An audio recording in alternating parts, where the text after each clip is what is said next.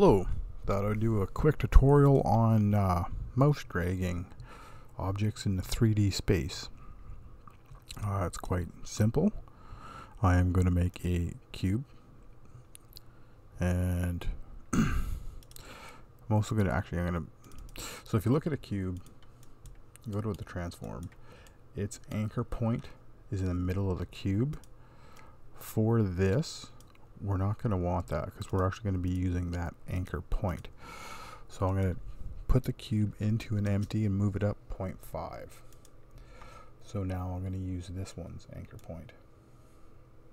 There's a few different ways you can do this, but uh, the other thing I'll do is I'm going to probably raise some terrain just a little bit just to screw this stuff up so you can see it's not going to matter how messed up your terrain is or whatever the case may be. Okay, um, I am going to put this cube on a, on a different layer. It, it doesn't matter what layer, just you have to just choose, like make a layer called pickable layers or something. I'm to choose one called blocker.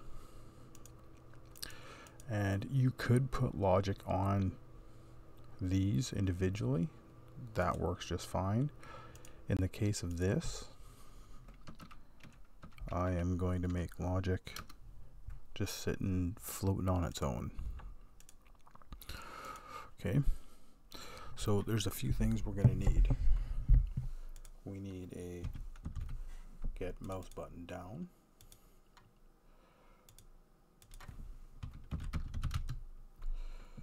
Right. But we also want mouse pick. Yep. So we want this one. Oh no, not mouse pick event. We just want mouse pick, not not mouse pick event. So we will say put this on every frame. Um, actually, we probably don't even need that there. Let's just leave that empty. So we have send event, we're going to go pick. So we're going to go here. Now once we're here, we're going to drag our mouse pick over here. We'll, we'll do our mouse pick. Store did store the object.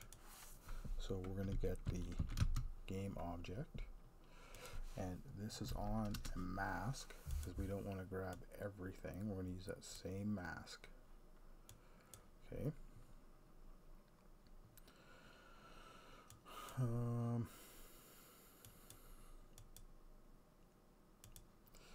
and then the other thing we want to do is we are going to get root we don't actually want to use that object we want to use its anchor. Um, I could show you the difference of that after. Um, so the root, the root object of the object we picked. Okay.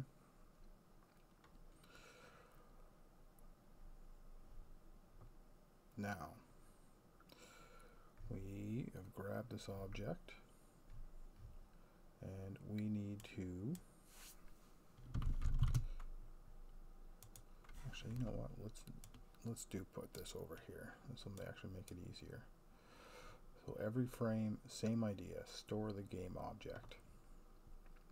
Get mouse button down. So now we're over here. And we're going to set layer which is why we move that pick over of the, not of the root, but of the game object. We're going to put them on just some other random layer.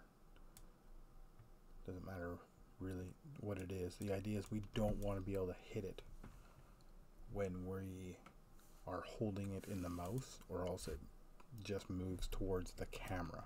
We don't want that. Right, so we're, we're going to get it. Now we want mouse pick over here, but this one's going to be a little different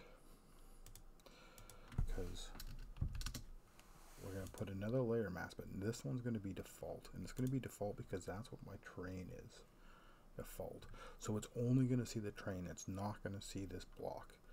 We're not going to store the object, but we are going to store the position we're hitting. Okay, and it's every frame. Next, we're going to set position of the root to that position world every frame. Get mouse button up because we need a way to let go of the object.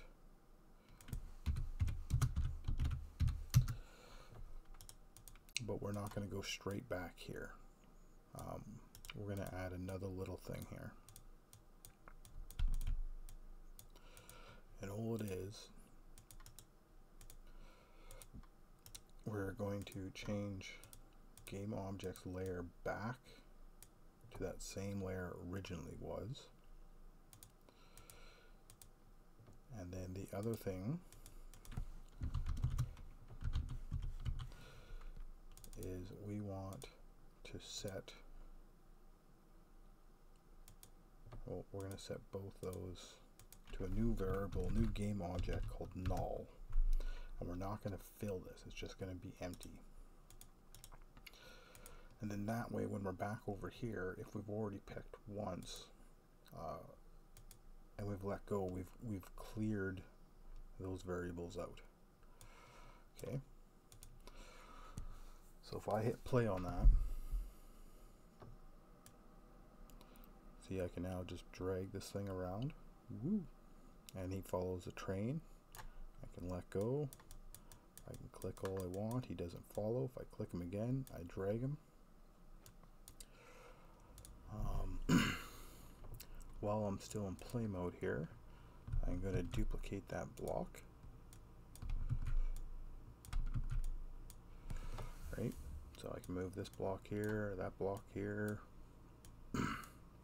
well, works works pretty easy. Works pretty good. One thing you do need to make sure you have is this event system, this Unity event system. This is a communication between UI stuff such as mouse picking. Uh, it, it, captures the events. Um, of course, you'll you'll probably have this, and then the other thing we need is on on on the main camera, the camera we're looking through.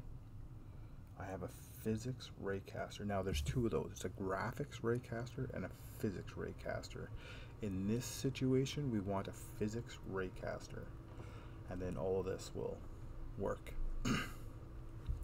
Alright, thanks for watching. We'll catch you next time.